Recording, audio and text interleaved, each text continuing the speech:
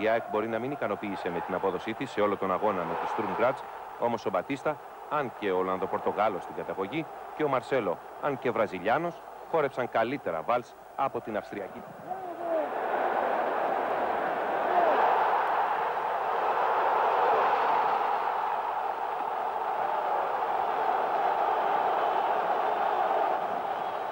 Όμως τη γιορτή σκίασε ο σοβαρός τραυματισμός του Χρήστου Κωστή. Πάντως το 2-0 δίνει στην ΑΕΚ πλεονέκτημα εν ώψη του δεύτερου αγώνα και η πρόκριση στον τρίτο γύρο του κυπέλου κυπελούχων χαμογελά πλέον στην ομάδα του Δημητρίου.